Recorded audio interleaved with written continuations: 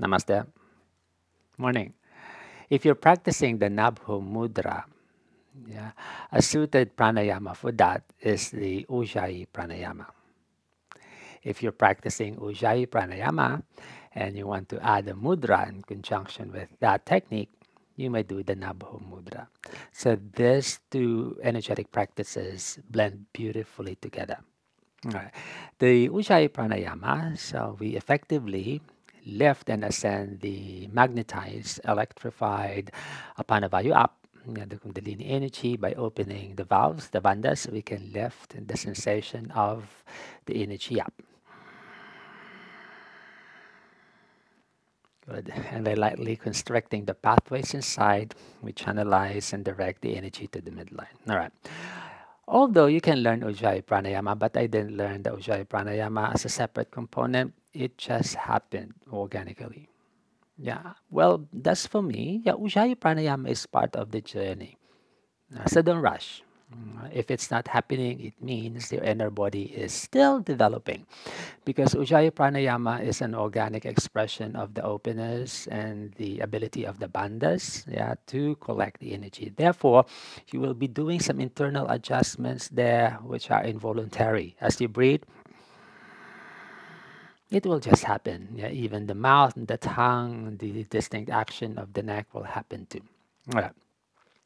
The Nabho Mudra, on the other hand, so what it does, yeah, yeah so we uh, bypass the common flow of the breath. So commonly, if we inspire the breath in, yeah, most of it descends to the body yes, uh, to nourish our functions. But in the Nabho Mudra, so what we do, mm, we allow the surface of the tongue to lightly form a gentle suction against the upper palate and dropping the lip, relaxing the jaw,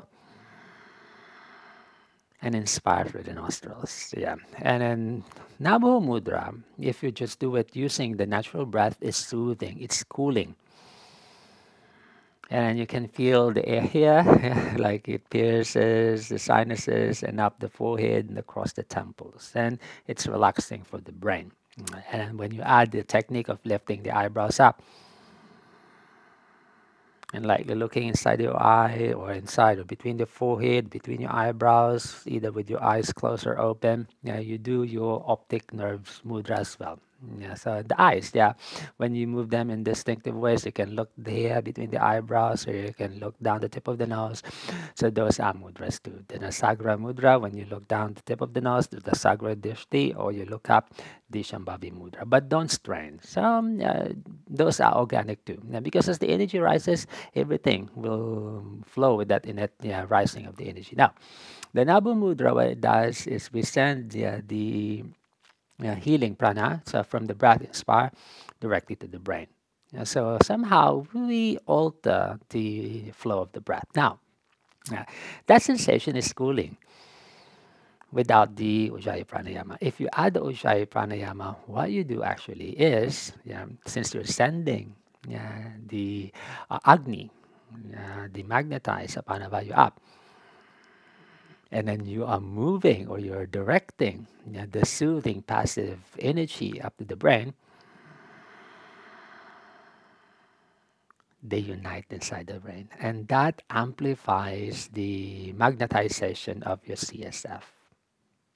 So when you add the Ujjayi Pranayama with the Nabho Mudra, the sensation is not as cooling yeah, as when you do it without the Ujjayi, it's warming warming but not uh, energetically warming, not, um, um, I say, because if, if you do Ujjayi Pranayama without the Nabho, it's mostly on the physical body.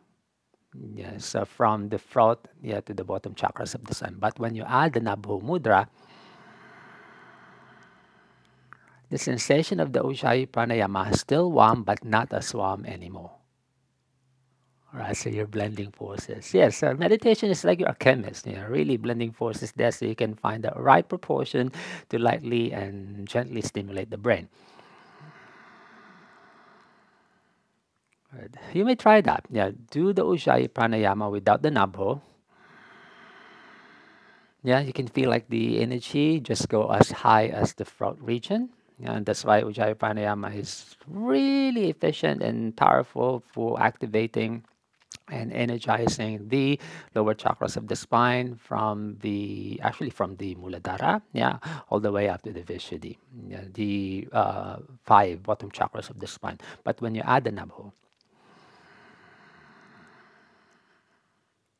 yeah, you are stimulating, activating the deeper chakras of your asa system, namely the talu behind, yeah, the uvula, uh, and your ajna chakra inside yeah, the pituitary gland. And here you also inevitably shall make use of the yeah, Ribanda, the Ujjayi Pranayama, Ribanda. Remember my lesson about the Ribanda? And the tongue sealing against the upper palate yeah, allows you to access your Ajna Bandha inside because you're forming the seal, you're forming the suction.